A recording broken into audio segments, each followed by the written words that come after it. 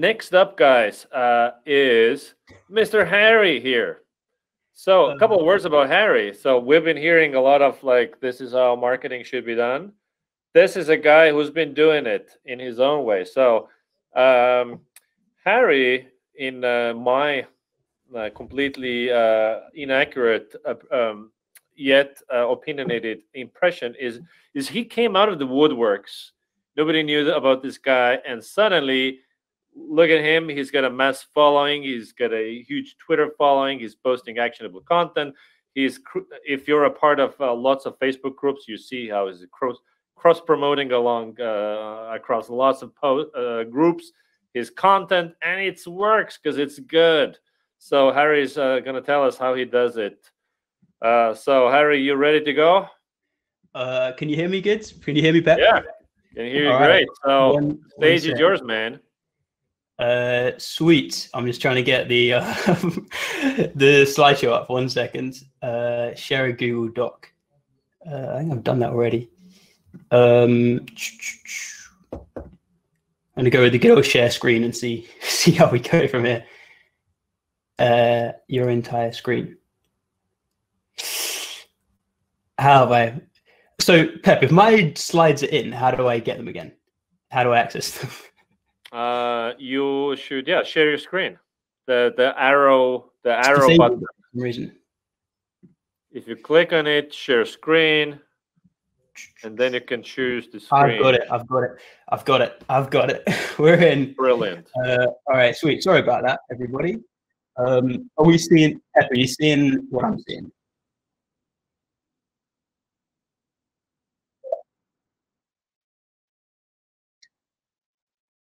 Double check we're good before I start.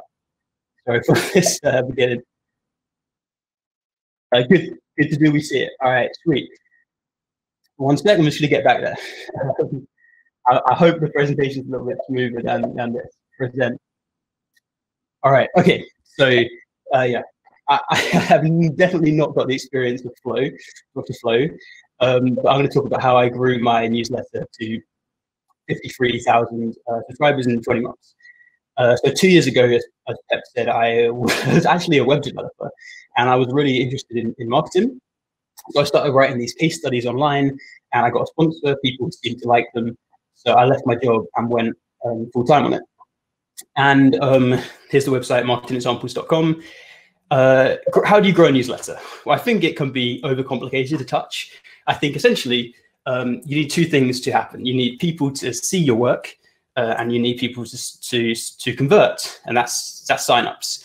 Uh, so, firstly, the first ten minutes of the talk, um, we're going to think, well, first five minutes, however long, we're going to focus on getting getting people. How how do how do you get your content out there? Second half is going to be how uh, how can you improve conversion. Now, I'm just going to double check that people are hearing me okay because um, I cannot see anything right now. Just just a little bit nervous about getting this right. Uh, love the exciting way to go. Oh, we hear you. Thank you, Annabelle um, back to it. Uh, that'll be the last time. I didn't want to do the whole thing, and um, and no one hear any of it. So, uh, so yeah, how how do you get people to see your work? Well, when I started in, in marketing, didn't really know. So I had this website which no one was visiting, marketing examples, and I thought, how can I how can I get you know build attention for it? So I slowly but surely put together like a landscape or watering holes, as I I call them, of all the places where marketers hang out on, online. So loads of Facebook groups I found, Twitter, obviously, LinkedIn, um, designer news, indie hackers, uh, a bunch of Slack groups, and uh, Reddit forums. And then I thought to myself, um, no one's reading my website at the moment. So what about if I could somehow take my articles, my content, and share them where there's loads of marketers bu- buzzing around the ocean, like, like fish? Um, so I yeah found all the places where marketers hang out, and and I thought, how can I add value directly to these platforms? Um, now, adding value isn't uh, just dropping a link on Twitter. You know, I was a nobody, still am a nobody. No one's going to click that link. So, how do you do it slightly more imaginatively? And it's not rocket science. Essentially, um, I like to say people are busy, so you've got to wow them where they're already at. So, what I did is I'd write these articles, and um, I would write them out on my website, but then also in full on Twitter as threads, um, on Reddit, on the different sub-business entrepreneur as a full article, and then on indie hackers, on Facebook groups, literally everywhere, I would just put the article. Um, had to like get the name, get the word out somehow. And then at the end of each article, I would say, "Hey, thought this was good. Well, you might like the newsletter I write. I write it twice a month. Um, subscribe." Slowly but surely, the, the, the email started started ticking up, um, and then sorry, one sec. And then I thought to myself, well, I'm kind of doing this on Twitter, uh, LinkedIn, Reddit, kind of pretty well. But what about sorry, not LinkedIn, but, but what about if I did it on Instagram and LinkedIn as well? So again, exactly the same principle. I would take the content I wrote and just tailor it to uh, to these different platforms. So Instagram, I would use slideshows. LinkedIn, I would use I'd use slideshows, um, and um, there's no one size fits all uh, method of, of, sharing content. Essentially, I would yeah just tailor it to to the platform. Uh, Facebook groups is a little bit harder because you can't really share a full article. So I, I made all these quick tips I made, and the beautiful thing about about images is that you can kind of share them anywhere because all platforms are really suited to, to images. So uh, this is the SaaS Growth Hacks Facebook group, and I would just share the uh, the tip I made. This one's about copywriting, I think. Uh, instead of saying the world's first digital media player, uh, um, every song you've ever owned in your pocket, no one cares what you can do. Everyone cares what you can do for them. And I, I'd um, just mentioned the slide at the bottom. Slowly but surely, I started getting a bit of traction with this sharing pro- process. Um, so then, six months later, with a bit of experience, I realized essentially this diagram explain, explains all. You, you create value, which is a bit of a cliche word, but it's probably the easiest one to use on all these different places. Uh, you, you transfer them to your article, your website, and then your subscriber, your email subscribers is where you store the value. Um, why email? So uh, let's say someone comes to marketing examples once, the chances are they'll probably forget about it, probably won't return. But if you can capture them as an email subscriber, then you've you've got that direct line into them uh, whenever you like, really. Um, I think if you kind of rely on platforms like Twitter, again, it's a cliche, but you don't own your audience there. So the algorithm changes and you go from being um, the cock of the wall to a feather duster. I think that's a quote from somebody. Um, so over the last year, this is, I think, a rough spread of where my subscribers came from, mostly from Twitter, Reddit, indie hackers, uh, Facebook, LinkedIn, etc., etc. Uh, okay, and we talked a lot about self promotion. And I like to say that uh, I'm definitely a self promoter, but I think that the best self promoters aren't really self promoters.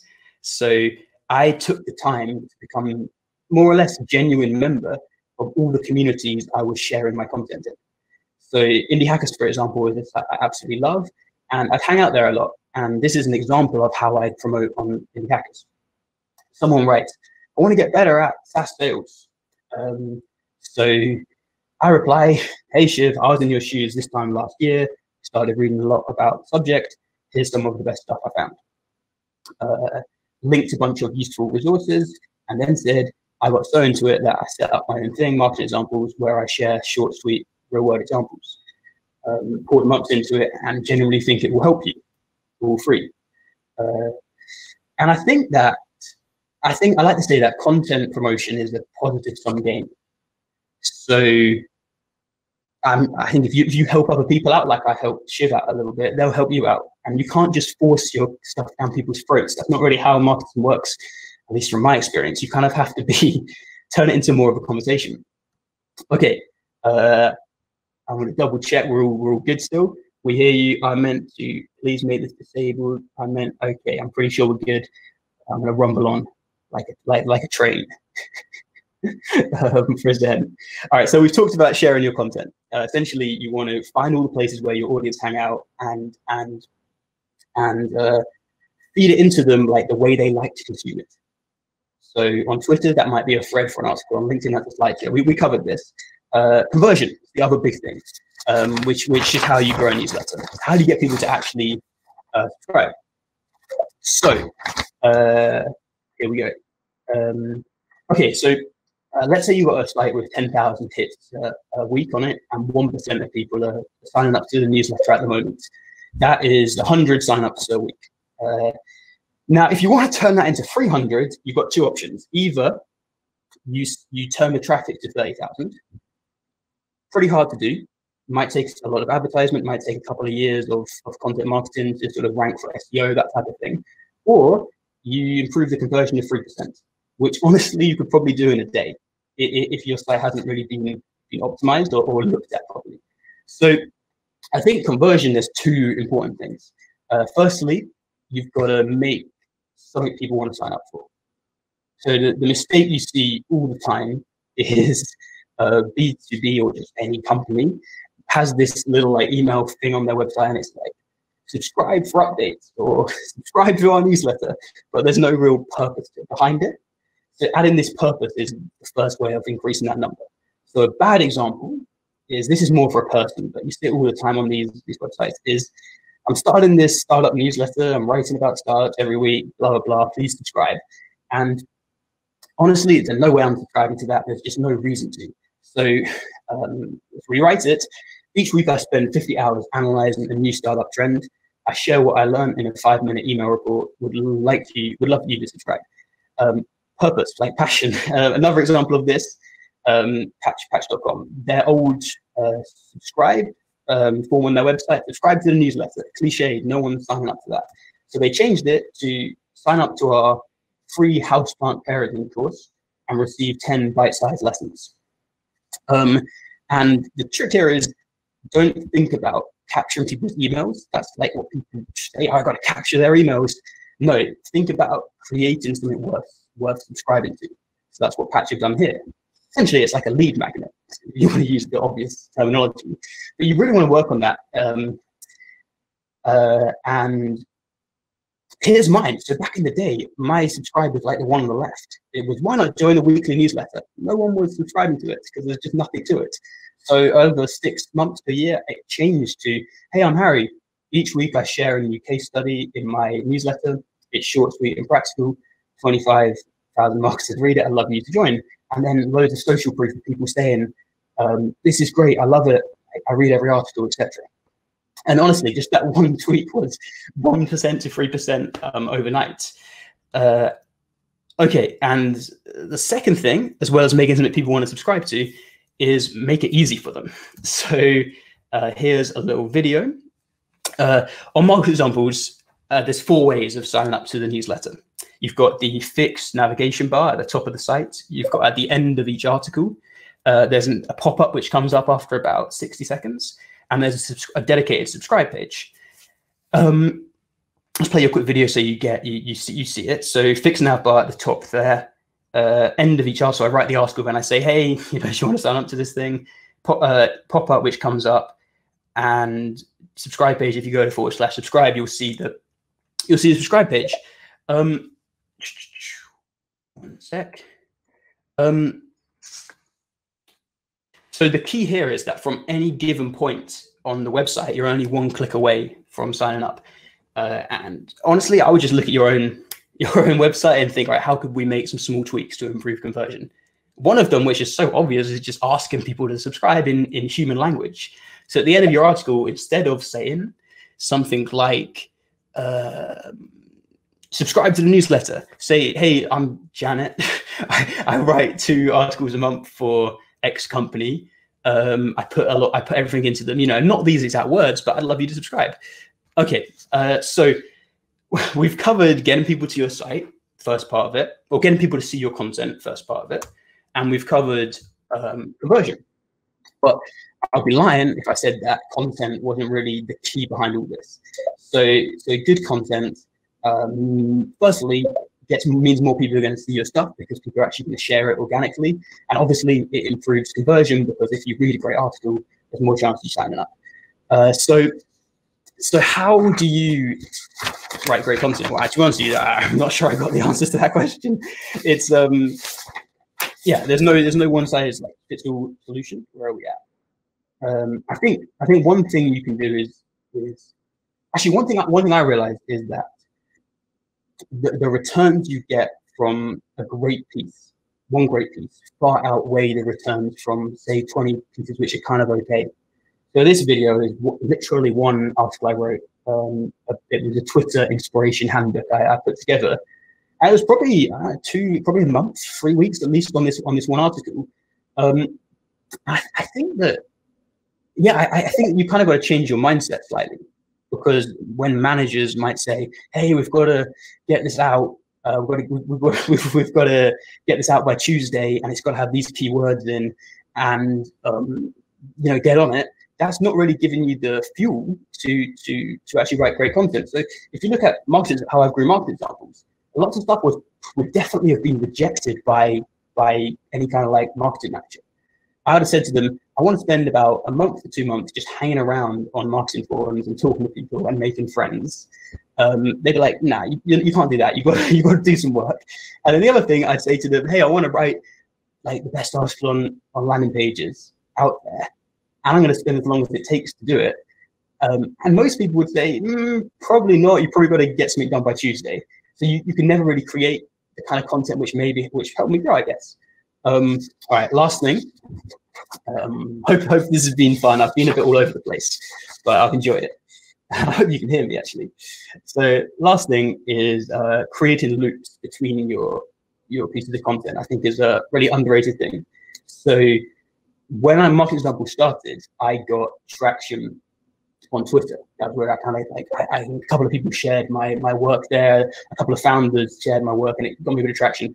So then from Twitter, I'd them to the newsletter, and then from the newsletter at the end, I would say, "P.S. I'm down to connect on LinkedIn if you'd like." So that's how I kind of kickstarted my link, my LinkedIn growth. Is everyone from the newsletter would come to LinkedIn, and then on LinkedIn, I'm sharing the, the slideshows, and then say at the end of that, "Hey, come to the newsletter." And then when I launched my Instagram, um, I think I probably put it in an email saying, "Hey, I've just launched the Instagram page, like where I'm going to share, share slideshows if, if that's your chosen platform." So you kind of kickstart that, and it's and it's all these um, it's connecting these platforms together. You can kind of create a bit of a web, I guess, around around marketing. So to wrap up, um, how do I create? How do I? How have I built a big newsletter? Well, uh, fairly big, I guess. Um, I don't think you should be overcomplicated. You need to have a way of, of getting people to see your content, sharing strategy, um, conversion. Create a newsletter people want to read. How can I make great content? How do you stand out? And then finally, loops. How can you use Twitter to build your newsletter, which builds your LinkedIn, which builds it like all of that stuff. Um, there you go. Thank you very much for listening. I hope you learned something. Cheers. Thank you so much, Harry.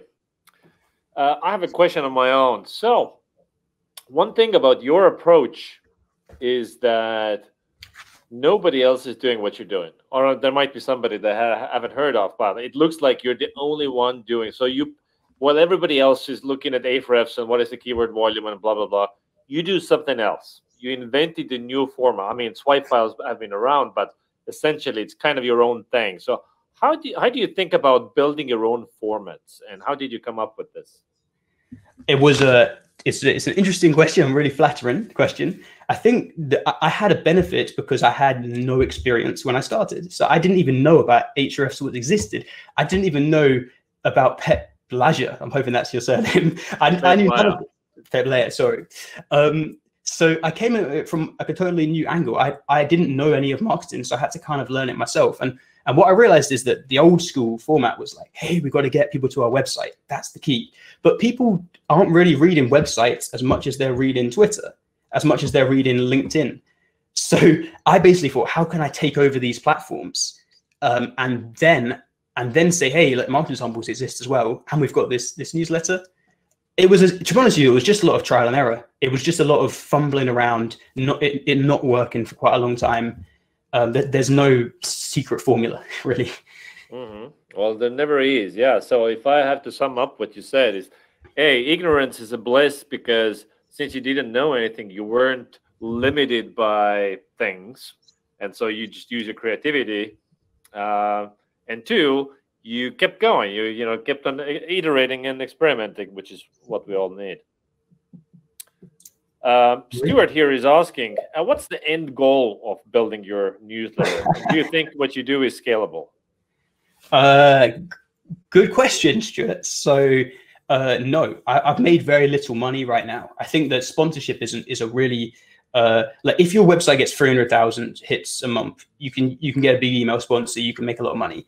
I have got a great sponsor, but this just it, it doesn't make me crazy money in the slightest. But I think what I have got is a very engaged email list who like the content and a social media following. So um, I'm actually uh, probably well, I was going to do it today, but I, I had to write this course, this talk. There's a course coming out, uh, a marketing course coming out. Uh, I've made the landing page, and I'm really excited for it. It's going to be six months just grinding on this thing, and I really think that um, I can make something good. And, I, we'll, we'll, see what happens. Like I think that I read this line from from Jonny Wilkinson, the rugby player, and he said that um, there's two options: control or explore. This is a real kind of like Zen thing to say, but um, I'm not trying to control anything. I, am literally making it up as I go along and, and just hoping, not hoping, but like, uh, uh, I don't really know what the, what the right wording is, but I've got the, I've got the ideas in, in my head and um,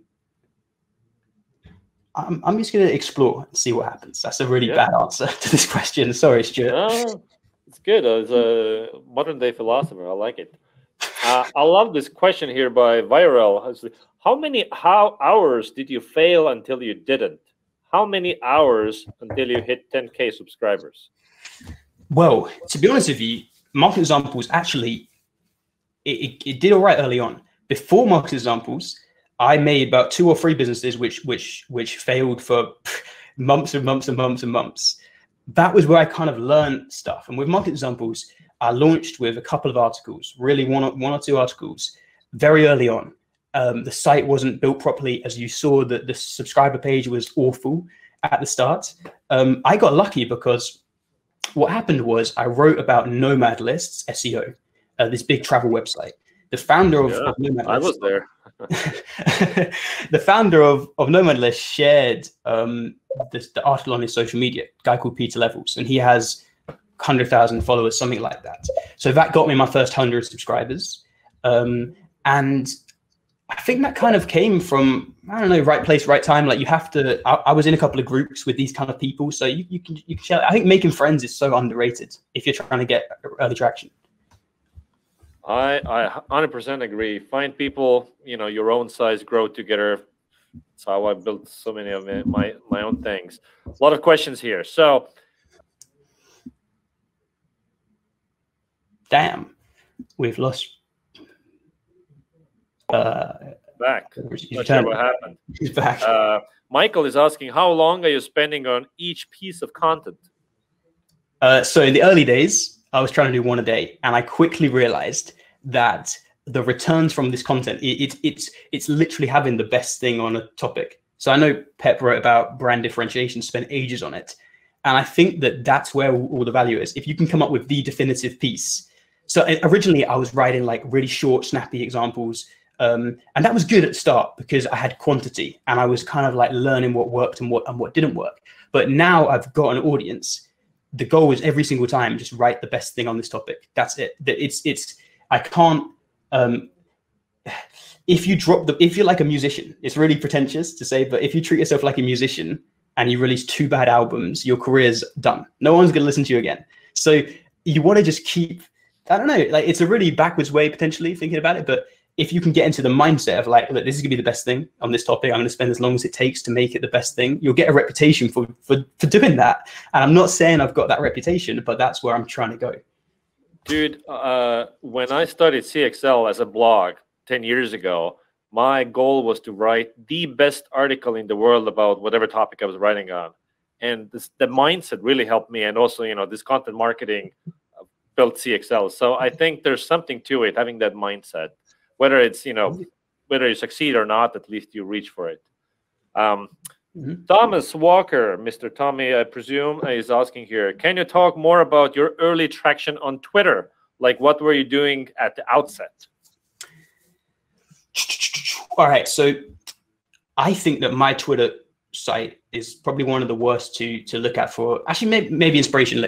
Basically this guy called steve Schoger, a designer he started taking design um, uh, which was written in blog posts, YouTube videos, and he turned these things into into quick tips. So he would he would create a little tip where he would annotate stuff, and he'd say, "Hey, look, change the box shadow from this to this, and this is the impact." I saw his account on Twitter explode, so I thought to myself, "I'm all right at design. I can do this for for marketing. I can take this format of basically making these insane images. Um, and that's how I got all my, my my Twitter traction. The early days, I was I'd share the, the I made all these quick tips. I'd share them on Facebook, Slack, and then I'd say people would say, "Hey, this is cool," and I'd say, "All right, well, you know, there's a Twitter account which makes all these." Um, so that's how I got the ball rolling on Twitter. Also, I think don't be afraid to spend ad money. I think that if you're if you're putting the work into, I would spend eight hours on one tip easily, and if you're putting the work into that, um, put budget behind it and say, look, this is going to get us 500 followers because we're going to target, I don't know, um, Pep's audience or whatever. And you're going to build your account that way. I didn't actually really have that luxury, but if I was doing it all over again, 100%, I would I would spend ages making an amazing tip, find like five people who audience I want, and just run follower ads to them with, with this great tip. They follow you, you just repeat, repeat, repeat. Um, also don't be afraid to post stuff twice. Like it's it's a bit of a boring tip but most people let, us say your account explodes 50000 to 90000 kind of happened to me. Um, the people who have joined the last 40000 haven't seen the stuff you spent literally weeks on. So it's not the worst thing in the world. I mean to, to just to just repost uh, yeah, that's what i think at least. I mean there's a lot more to say on twitter. A day yeah. Uh, multiple people are here asking about uh, about your audience. So how do you define your target audience? So, like, who is the profile? What's the profile of your subscriber? And do you have a specific person in mind when you're creating the, your content? Uh, my subscriber is is people who want to get their hands dirty. It's marketers. Like, I, strategy is important in marketing. Hundred percent, it is. But I feel like you sometimes watch these podcasts or whatever, clubhouse chats, all that, and people are just chatting so much about, hey, you got to do the strategy. It, it doesn't, it's just nothing, there's nothing behind it. So my subscriber is someone who kind of gets that, like, okay, uh, this is actually practically how you set up, uh, how, how you, how you, um, how you write a landing page that converts. We've got numbers, we've got examples, we've got examples, we've got more examples of this.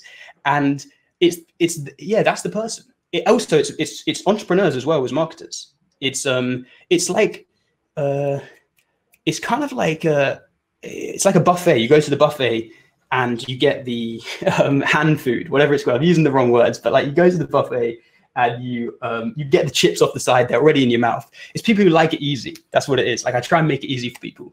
Um, yeah, marketers, founders who want to be who, who like practicality. That's what I'd say. Cool.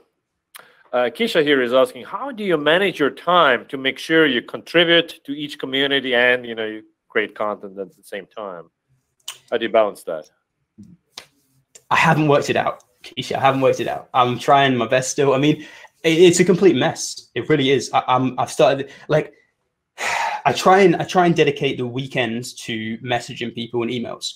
If I if I do emails first thing in the morning, my day spirals out of control in a negative way so I got this from someone called Josh Waitzkin. He said that um, work pre-input, and what I think he meant by that is like, can I do the creative work I do um, without getting bombarded with, "Hey Harry, your subscriber form is broken. Hey, you've got a typo here. Hey." So so I, I try and have like five, six, seven hours where I'm just I'm just no distractions, trying to trying to write really the best stuff I can, and then it's like to say, then the day descends, and it's okay. I can now just hang out on on um, on a webinar and just you know that, all that kind of thing. Or i can reply to messages or i can fix bugs. Yeah. Uh, two questions here about if you do it all yourself or do you outsource any part of your uh, work or design or? I do it all myself. Uh, i do it all myself. I yeah there's no there's no one helping out and is that uh, because you just uh, like to do it on yourself, or because you're just early stages and uh, it just doesn't make economic sense? I haven't. No, I couldn't hire someone if I tried. That to be honest with you, but hopefully, when I make more money, uh, the first person I would hire would probably be someone to help with communi- like communication because um, it's it's there's a lot of messages you get on, which is honestly amazing. But I'm someone who doesn't actually I don't text my friends back that often. so to get the, um, I like creating the content. That's the thing. That's why there's no community yeah. right now, at least. Um, yeah. All right, uh, let's uh, end with a more inspirational advice here. So Gagan is asking here, what advice will you give to small business entrepreneurs with little marketing experience to increase audience engagement? Uh, I would say that I'm going to just give you a quote because I haven't got the words. I would say that there are no adults.